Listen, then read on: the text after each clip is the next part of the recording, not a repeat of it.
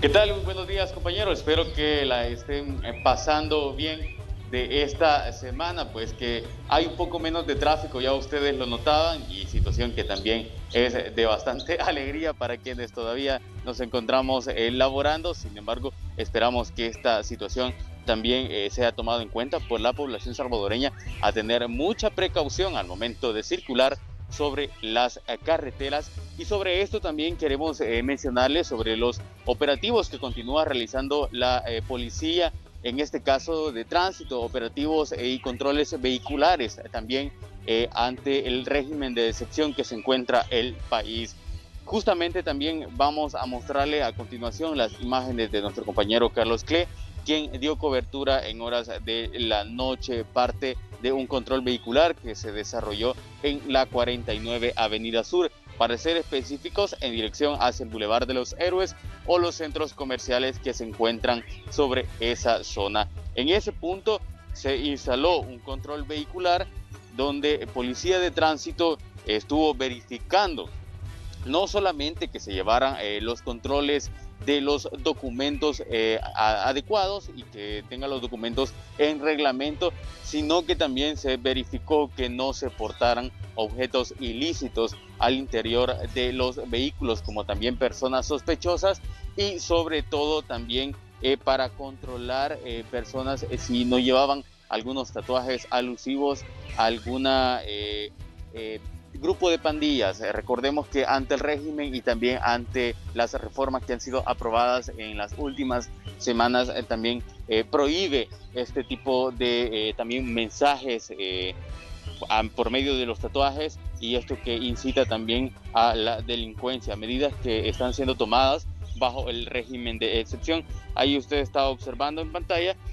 donde justamente policía de tránsito baja a una persona para eh, checarle los documentos, primeramente si estos están en regla, si el vehículo le pertenece, si no está o, no ha sido reportado como robado y que también esta persona pues no posea también eh, algunos tatuajes en su cuerpo alusivos a un grupo eh, de pandillas. Además también para verificar que los documentos vayan en regla y que esta persona no conduzca en estado de ebriedad y que no ponga en riesgo a otras personas dentro del marco de las vacaciones de Semana Santa. Vamos a escuchar a continuación también la opinión de la población con respecto a estas medidas que continúa implementando el Estado para prevenir hechos delictivos en las carreteras. Escuchemos.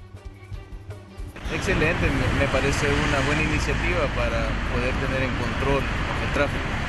Eh, ¿Todo bien con tu revisión de vehículos? Sí, la verdad que todo, todo muy bien, ha sido muy amable y, nada más que agregar. Un llamado para conductores inconscientes que andan en estado de ebriedad o con alguna otra sustancia manejando. Eh, sí, hacer un llamado ahí a conciencia que no solo ponen en riesgo su vida, sino que la, de los demás. Y todos tenemos a alguien en casa que nos espera. ¿Tu nombre? Bueno, ahí escuchábamos eh, parte eh, de las declaraciones también de un conductor quien eh, fue sometido a estas medidas que las autoridades, en este caso de la Policía Nacional Civil y también elementos de la Fuerza Armada, quienes se encuentran apoyando también a esta institución, tratan la manera de evitar de que se bueno, de que se eviten hechos delictivos sobre las carreteras. Como les comentaba, esta situación bajo el régimen de excepción que estaría finalizando, si no me equivoco, hasta el 28 de este mes de abril, luego de ser aprobado por la Asamblea Legislativa y había sido también eh, anunciado por el Ejecutivo. Otras medidas posteriores a eso también fue el hecho de cambiar reformas como el no eh, también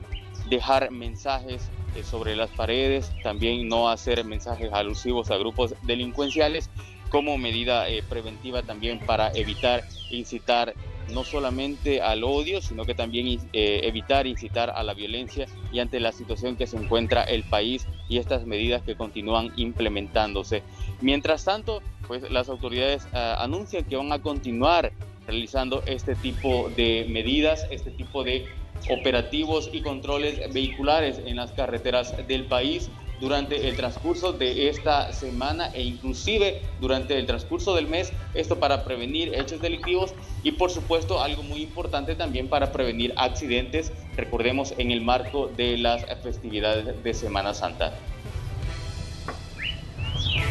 Claro, Dani, qué importante es esto que estabas compartiendo sobre el contexto de pues este control vehicular sobre la 49 Avenida Sur que estábamos escuchando tiene que ver con medidas relacionadas a la seguridad y también nos pone en perspectiva la problemática de los accidentes de tránsito. Vamos a estar pendientes de tu próximo enlace.